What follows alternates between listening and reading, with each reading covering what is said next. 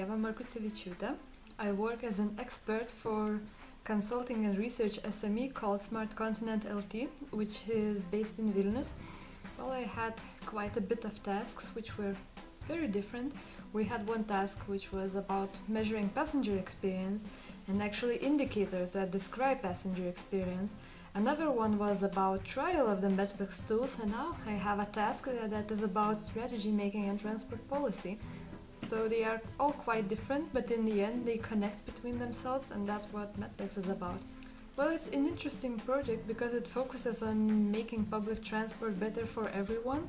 I believe in public transport as a mean of traveling, and I would like that other people would also feel happy in it. I don't have any mobility issues or something like that, and sometimes I think about people who have those issues and how they feel. For them, a little step could be a huge step, and things we don't notice for for other people are extremely important. And that's why I think that METPEX could be a huge help for such people. Well, of course, the tools, we worked so hard on them and we did the trial and the results were quite positive, I think. The stakeholders liked the tools and we got loads of great information.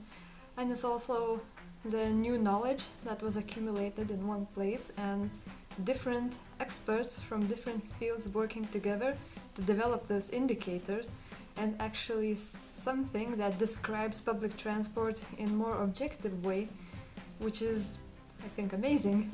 Well, to know what to improve, first we have to know what is wrong or what could be improved. And METPEX could be help here because it lets you reach uh, some users that usually don't maybe sound their opinions and it helps you to see the problems from the perspective of the user and in the whole journey.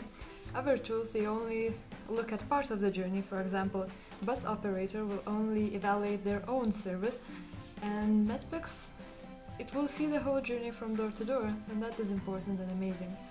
We did get quite high satisfaction scores, but satisfaction scores from disabled users and mobility restricted were a bit lower, so the transport operators said that they would look into that because we have, I think it's about 8 or 9% of population that has some sort of disability, not uh, necessarily mobility restriction, but still they do have it and it should be addressed now.